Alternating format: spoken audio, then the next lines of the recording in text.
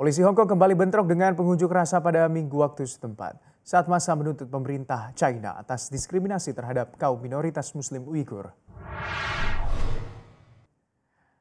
Aksi unjuk rasa di depan Edinburgh Place, Hong Kong ricuh dan juga membuat polisi mengarahkan senjata api ke arah masa yang berbuntut kecaman dari sejumlah pihak. Upaya mendukung kaum minoritas Uighur di Xinjiang kini juga menjadi isu yang diangkat pengunjuk rasa.